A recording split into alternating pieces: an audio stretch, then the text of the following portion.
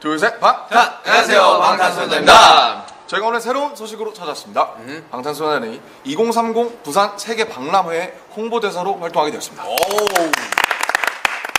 네, 세계 박람회는 1851년부터 인류의 산업과 기술, 문화 발전을 주제로 다양한 국가가 참여 이루어지는 글로벌 축제인데요. 국가적으로 큰 행사에 홍보대사를 맡게 되어서 정말 영광입니다. 네, 2030년에 어, 세계 박람회가 부산에서 열리면 이제 우리 대한민국은 월드컵 올림픽과 함께 어, 세계 3대 행사를 개최한 일곱 번째 국가가 된다고 합니다. 어, 제 고향인 부산에서 개최된다고 하- 생각하니까 어, 굉장히 설레는데요. 아름다운 자연과 문화에 힘을 가진 대한민국을 전 세계에 알릴 수 있도록 하겠습니다. 네, 2030 부산 세계 박람회 유치를 위해 저희 방탄소년단이 힘을 보탤 수 있어서 너무너무 기쁩니다.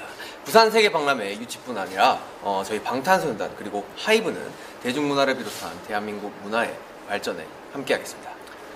경제 문화 올림픽이라고도 불릴 정도로 전 세계가 관심 있게 지켜보는 글로벌 축제 세계 박람회가 부산에서 개최될 수 있도록 저희가 대한민국을 대표해 홍보대사로 열심히 뛰겠습니다. 저희가 세계 박람회 유치를 위한 여정을 여러분과 함께하기로 한 만큼 홍보대사 활동을 시작할 예정인데요. 어, 부산 유치를 기원하는 공연도 준비하고 다양한 모습 많이 보여드릴 테니까 기대해 주세요. 네, 대한민국의 새로운 도약을 위해 방탄소년단도 책임감을 갖고 부산에서 세계박람회가 열릴 수 있도록 최선을 다하겠습니다. 네, 2030 부산 세계 박람회 유치에 국민 여러분의 많은 관심 부탁드리며 방탄소년단의 홍보대사 활동도 열심히 응원해 주시면 감사하겠습니다.